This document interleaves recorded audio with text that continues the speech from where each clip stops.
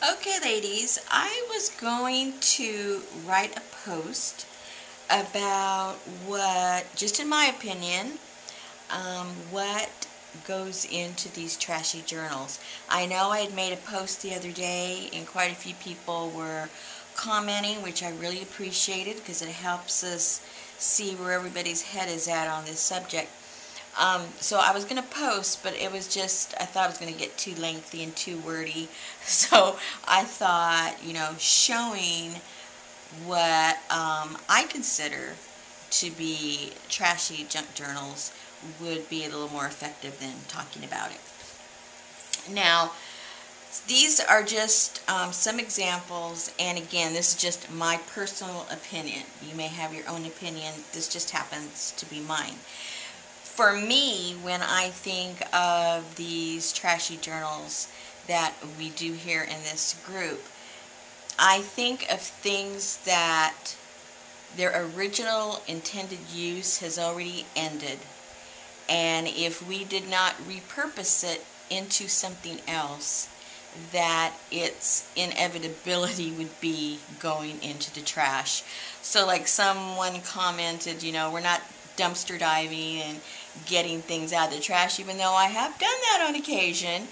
But that's not what we're talking about. We're talking about things that in our everyday life we have used it for an intended purpose and now you know it's over a perfect example is a calendar when the year is over it still looks great you know most of us don't even write in our calendars um, the wall calendars, you know, they're there, or we buy them and we forget to use them, and the year is over by the time we remember we had it. So its intended purpose is over. The year is over. You can't use that calendar for its original purpose. So you either, if you're not a crafter, you'd probably throw it away. If you're a crafter, you keep it. So that to me is an example of something that still is pristine, it's pretty, it's colorful, yet I would consider that part of uh, the supplies that we would put into a um, trashy slash recycled journal. So having said that, um, here is an example. Like for instance, I save all the envelopes I get from friends or from swaps or whatever. And a lot of uh, individuals like to pretty up their envelopes so they're already pretty. And so I put them together and then like for instance this one, it is 100% recycled. It's things that came from magazines, junk mail, uh, regular mail, um, little things that I just think is colorful and I decide to keep. And so this is an example of the a journal that yes, its intended use of all these items in here are over, yet I put them together and I don't think it looks trashy. I think it looks kind of cute. another example I had lots, I had saved up a lot of the envelopes and here's another one that I did exactly the same way. I used all my envelopes in addition to other things that I just saw in magazines or wherever that I thought was interesting or colorful and I cut them out and put them in here. Now this one's a little bit different in that my pages I consider to be trash because these were made out of those monthly magazines that are free at different stands. I get them at the at the library and they come out once a month and it talks about your community. So after the month, you know, all those activities are over. I consider those to be trash.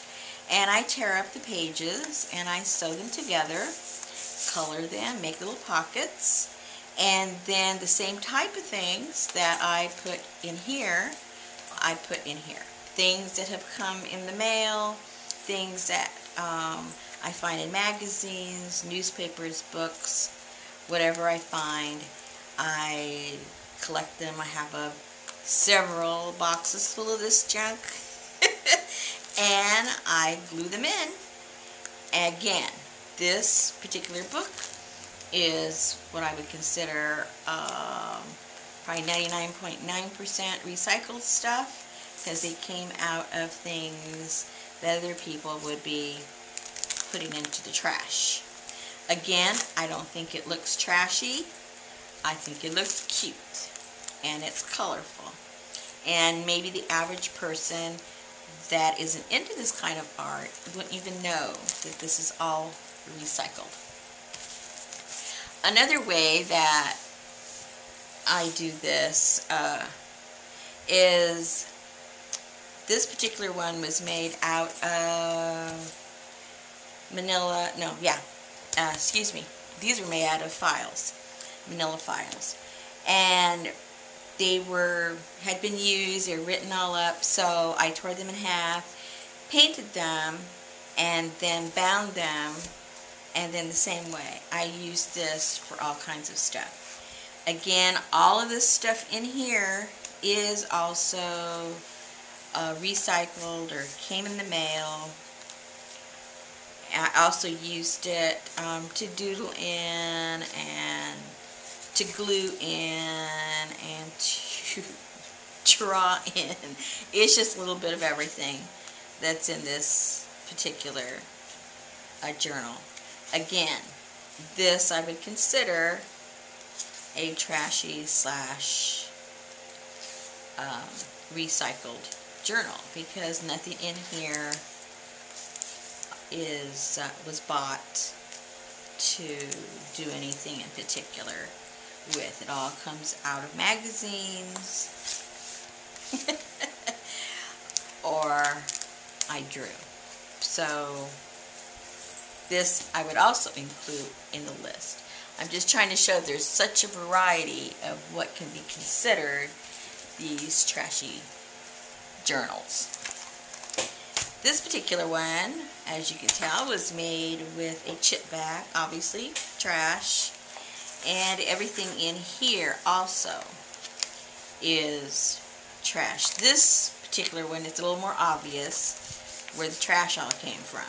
The other one's not so obvious. Here it's obviously just some kind of deli paper and so on and so forth. But still, it's, I try to make it colorful. I try to make it interesting. I just don't get a bunch of trash and throw it together and hope for the best. There's still rhyme or reason when you put your trash together because obviously you're trying to convey artistically um, what you can do with the supplies. And so this is another example of what you can do with recycled items that you may have around. Okay, here's another one that also is full of recycled. There's not too much in this one. I, I think this one's, oh no, I think this one does have more stuff. There's another one that's kind of empty. But um, you can see the same idea. This also, these pages were from the same magazines that I referred to earlier and I just paint them up and that's what I used as the base for this particular for this particular one. There's still a lot of pages that I can still work on in here but you can see how it started off and how I tried to decorate it. Alrighty.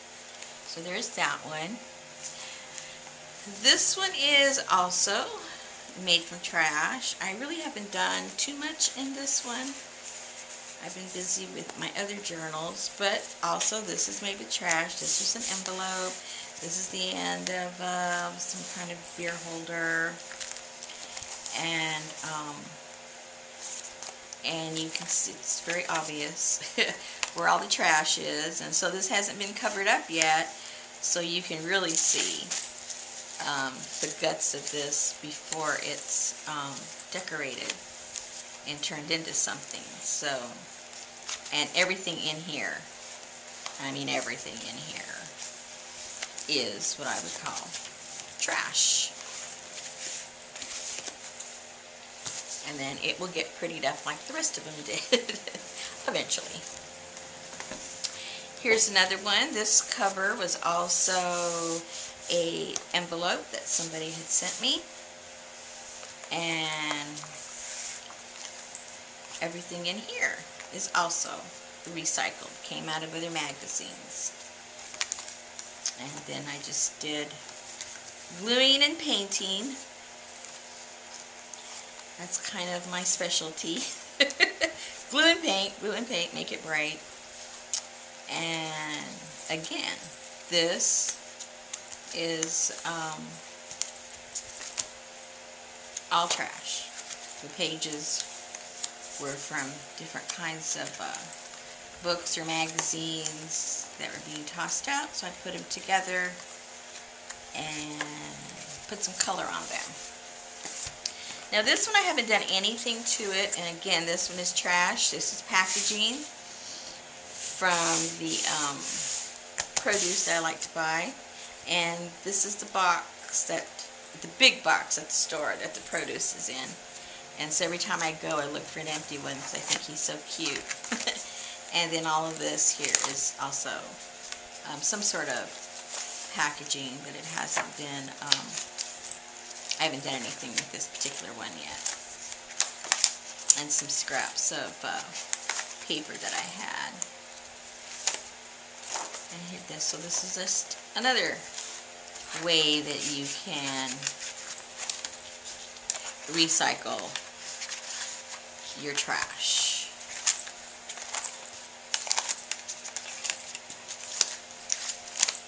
that's another way.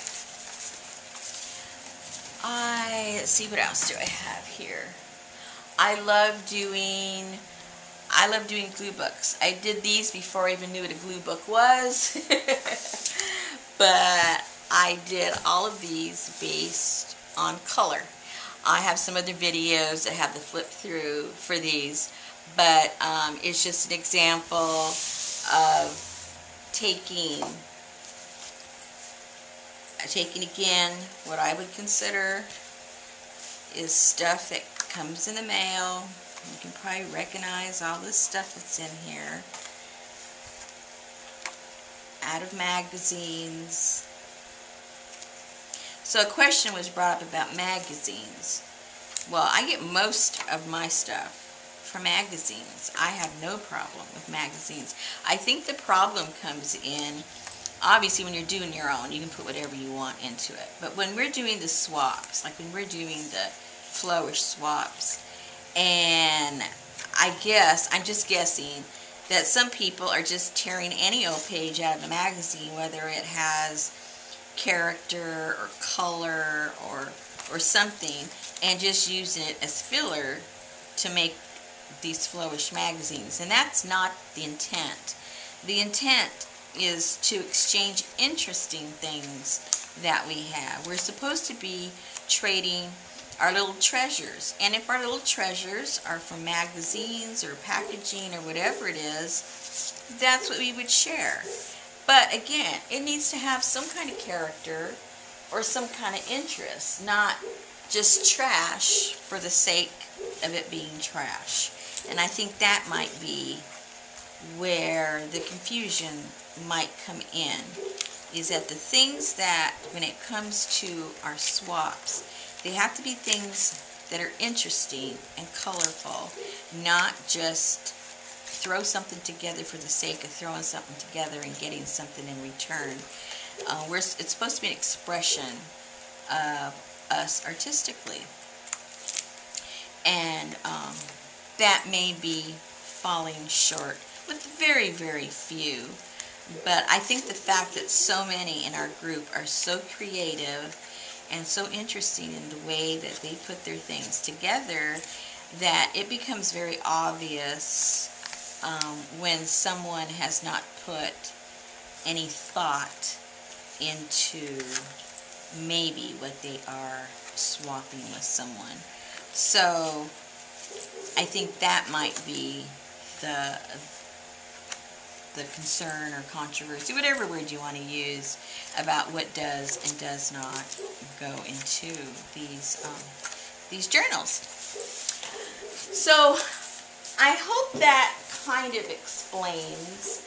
Um, now, the ones I just showed you as an example, these that I showed you, these are, you know, a 100% recycled. Now remember, the, um, the things that we can post, usually it says 50%. So there could be other things in these journals that are not recyclable. You know, they might be paper you bought or a tag that you bought or, you know, whatever it is that you put in there. It, it, there's going to, most people are going to have something in there that isn't recyclable that you purchased. For instance, I made, um, let me put this back. I made this little thing. Now, it started off like this, brand new, bought. It wasn't recycled. I bought it, a whole 50 cents. But, except for this, this is stuff that I had. I didn't go buy it, but, you know, it was still usable for its intended purpose, but I put it there. But except for that, everything else in here that I did, it is, you know, recycled little pieces of paper and, you know, little things I had left over and everything just got glued into this little book and I ended up following a little theme, a vintage theme, and that's that. But I would still, you know, if someone posted something they did with this little book like this, I would still consider this very acceptable in the group because it's obviously more than 50%. I mean, this was bought but everything else on the pages was not. So, um, so again, this is what I would call the trashy journal for our group. And it's still cute. It doesn't smell like cucumbers. Let's see, what else do I have as an example? Uh, for instance, this, I use this different fabrics that I have. Um, I don't buy any of this most of the stuff that I have, I get, I look when I go to garage sales, for some reason around here, clothing does not go. So they're very, very, very cheap in garage sales. So I look for skirts or blouses that have silk or satin or anything shiny and pretty. And I'll buy them. And I'll, you know, they sell them 25 cents, 50 cents. I bring them home. I shred them.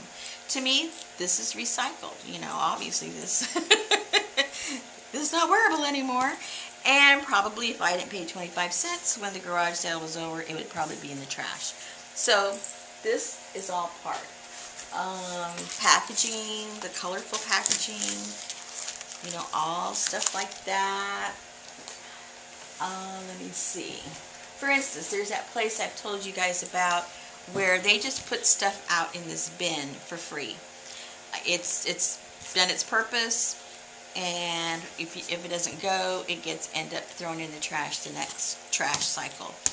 Well, they had all these. Now, they're brand new, um, but their purpose is over.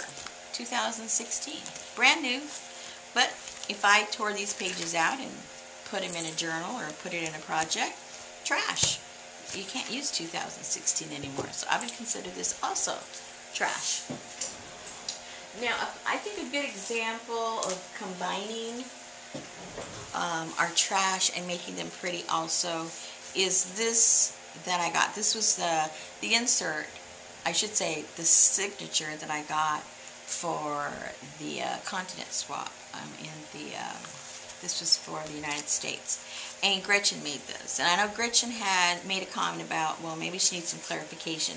No, she needs no clarification because she did a perfect job this is what she did.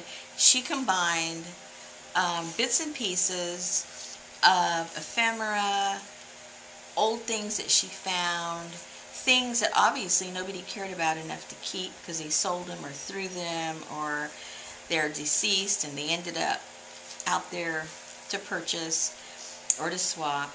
And she did this beautiful job of incorporating things that she's collected with other little tidbits and created this beautiful journal. And I checked it out before I started the video to see what I could spy that was actually purchased or somebody had purchased that is not um, old ephemera. But like for instance, this is new. Big deal. It's new. It's still, you know, that's not 50% of her whole project.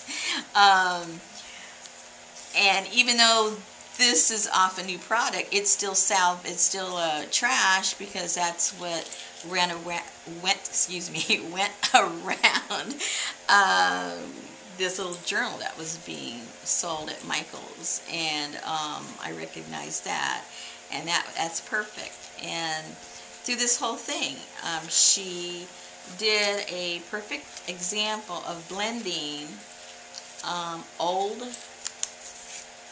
recyclable item, items, what's wrong with my mouth today, and making it just gorgeous. So, no, Gretchen, you do not need a clarification. You are the example of what we are talking about. So, I would just encourage you that just look at your stash. When it comes to swaps, don't give people the stuff that you don't want anymore. Give people the stuff that you've been hoarding that you have never wanted to get rid of, that you've never even wanted to use because it's so special to you.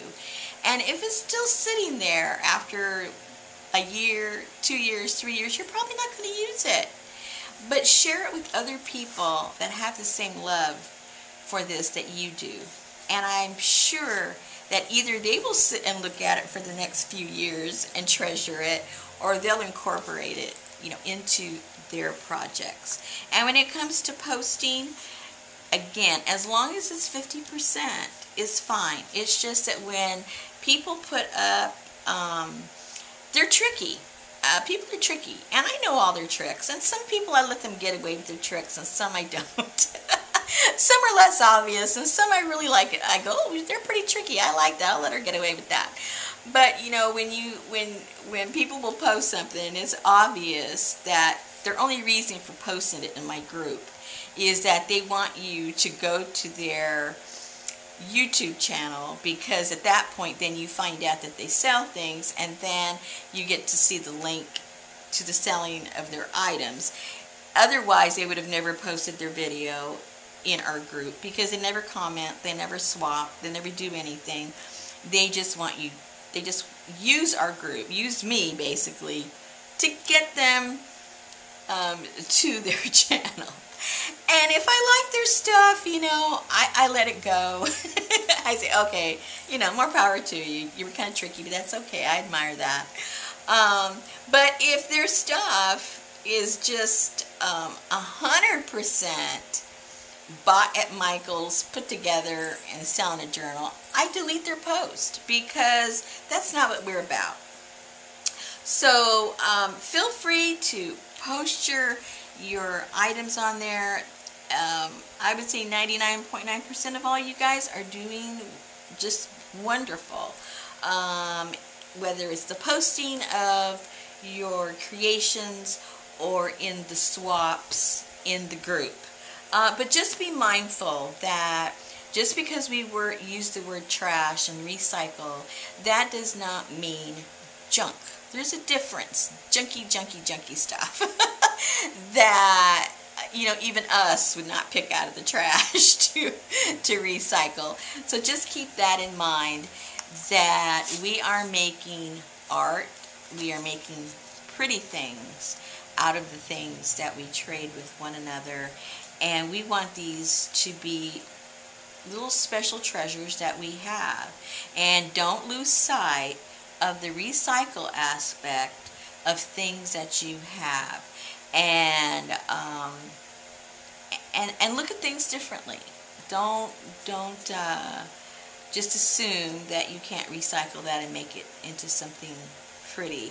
I encourage all of you that I know we have a lot of looky-loos that hang out for inspiration and enjoy seeing what everybody is doing and we really really like that and appreciate that you're there. But I hope that you can get the courage to maybe try something that you see in the group and share it with us. Because every time we get a new person that shares it's always wonderful because it's so it, it's um, new blood from it and seeing things in a new perspective. And it's really really fun to see what you what you guys come up with. So and remember it doesn't have to be paper products. It doesn't have to be journals anything that you are recycling, any form of art that you have used something to recycle, um, uh, that's what we're about. Obviously, right now the trend are the journals, but there's a lot of other artists out there that do so, so much in recycling. So please do, if, if you're one of those that don't tend to do journals, but do other forms of recyclable art, please, please post um, here in the group um, because there's probably more people like you there than you know and then they will be encouraged to do the same. Alrighty, so I hope that answers any questions you might have. Again, this is my opinion. you may have a different perspective of what trash is or re recycling is, but that is um, the uh, what's the word I'm trying to think of? When I put the group together, that definition of trash and recycle was behind me creating the group. So that'll give you an idea of the direction that I thought and hope that the group will continue to go in. So again, get all your trash together, make your journals, make uh, cards, you know, make frames for mirrors.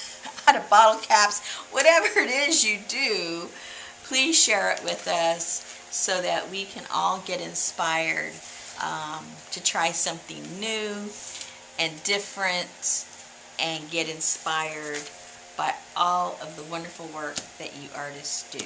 Thanks a lot for listening to me ramble.